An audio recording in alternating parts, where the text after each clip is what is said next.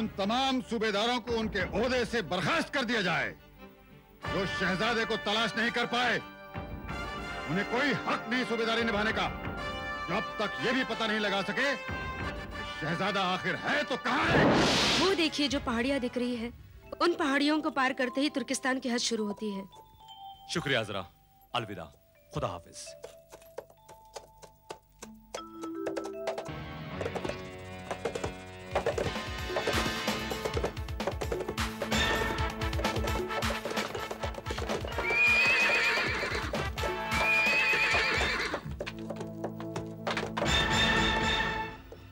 आखिर गुल सनोवर की दास्तान का राज क्या है? और महरंगेज इस दास्तान को जानने के लिए इतनी जुनूनी क्यों है? ये देखो ये देखो मेरी उंगलियों के जख्म। मेरा एक एक जख्म उसके जुल्म का गवाह है। मजबूर होकर मुझे गुल सनोवर की अधूरी दास्तान सुनानी पड़ी। महल अंगेज के तूफ़ान के सामने कोई तो हो जो चट्टान की मानंद खड़ा हो सके। महल अंगेज के नाम पर उठती हुई हर मौज को उल्टा सके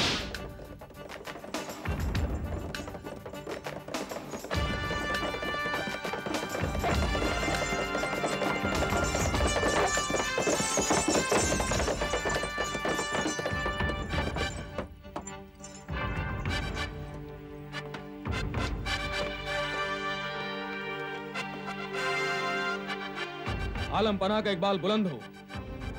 बेशुमार जंगी साजो सामान के साथ हमारा लश्कर कूच कर रहा है। हमसे टकराने की गलती महर अंगेज को खाको खून में मिला देगी। कुछ जैसी हज़ारों आजराएँ गुल सनोवर की मोहब्बत पे कुर्बान हो जाएँगी। हमें इस लड़की की मौत पर वाकई अफसोस है, जिगाला। ये लोग कितने खुददार, कितने गैरतमंद हैं।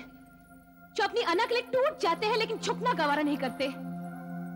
ये लड़की मरी नहीं बल्कि गुल सनोबर के लिए शहीद हुई। मेरे पास मत आओ! चली जाओ यहाँ से! चली जाओ! नहीं तो मेहर अंगेज के सिपाही आ जाएँगे। वो तुम्हें मार डालेंगे। हाँ चली जाओ से चली जाओ! अगर तुम वाकई मेहरंगेज की दुश्मन हो तो इस ख्याल को भूल जाओ कि वो तुम्हारा कत्ल कर सकती है।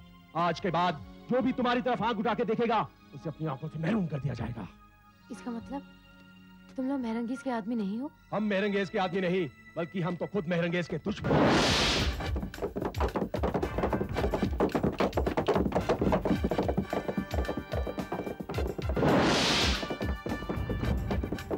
खत्म कर दो महर अंगेज के जुल्म और सितम को मिटा कर रख दो उसके गुरूर को कलम कर दो उसकी गर्दन को और डाल दो जहांगीर शाह के कदमों में जिस शहजादी ने खून को पानी की तरफ़ आया हो वो इस काबिल नहीं कि उसे माफ़ किया जाए।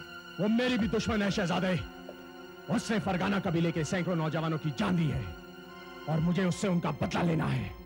तुम फ़िक्र मत करो। हमारा इंतकाम इतना भयानक होगा कि मेहर अंगेज की चीखें आसमान तक सुनाई देंगी खुदा की कसम, अब तुर्किस्तान की रेत इन तुर्कियों के खून से सदियों सुर्ख रहेगी। अब जरकाम का उठने वाला हर कदम महरंगेज की मौत का ऐलान होगा। दुनिया के नक्शे पर हिंदुस्तान एक बहुत बड़ा मुल्क है, बहुत ताकतवर मुल्क है, और उस मुल्क का शहजादा अपने दुश्मन से मुकाबला करने के लिए कभी तनहा नहीं निकलेगा। इसलिए हमें पूरा यकीन है कि उसका लश्कर हमारी सरहदों में कहीं ना कहीं छुपा ज़रूर है।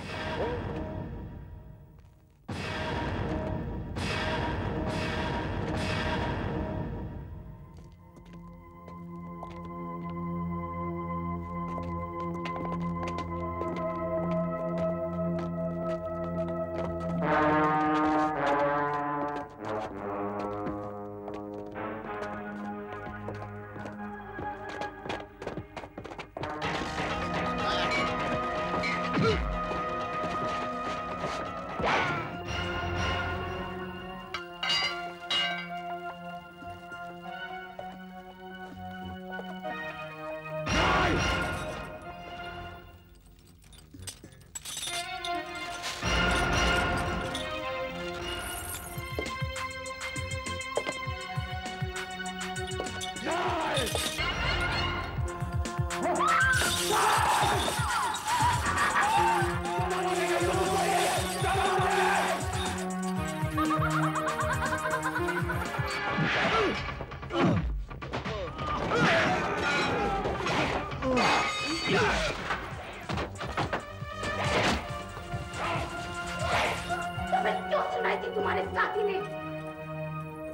सनोवर की अधूरी दास्तां क्यों सुनाई उसने क्यों एक झूठी दास्तां नहीं ये झूठी दास्तान नहीं है हकीकत हकीकत सुनकर तुम्हारा रुआ जाएगा जादूगर आमरी के आने से पहले मुझे असरा का ताबूत हासिल करना है।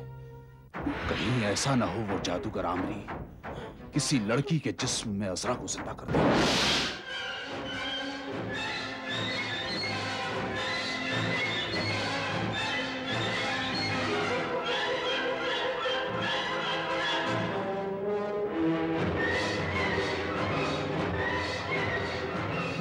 मर चुकी थी तो फिर दोबारा ज़िंदा कैसे हो गई? जिब्रान ये जादूगर आमरी का कमाल और करिश्मा है।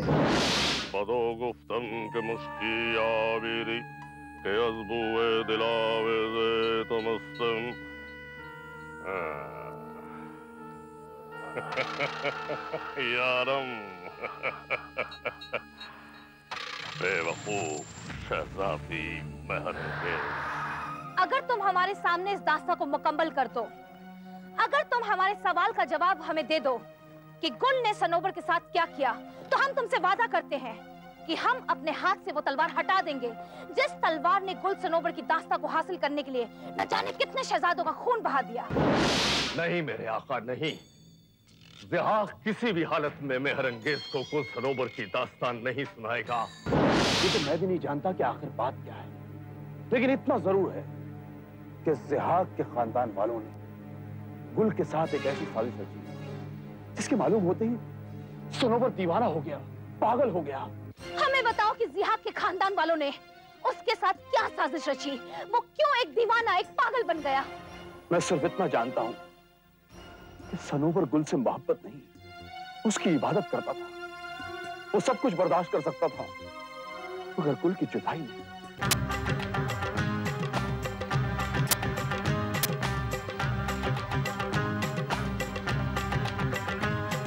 ये गुल और सुनोबर की है दासता।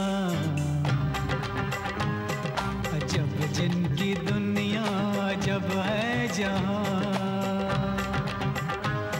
मोहब्बत के किस्से हैं यूँ तो बहुत, मोहब्बत के किस्से हैं यूँ तो बहुत।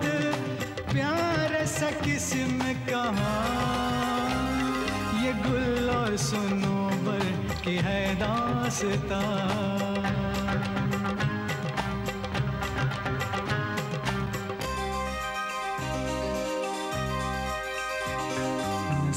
अपना सब आजमाते रहे, बड़े शौक से सर कटाते रहे। वो हुस्न की देवी थी जिसके लिए मर के सभी मुस्कुराते रहे। न भूलेंगे जिसको जमी आसमां, न भूलेंगे जिसको जमी आसमां।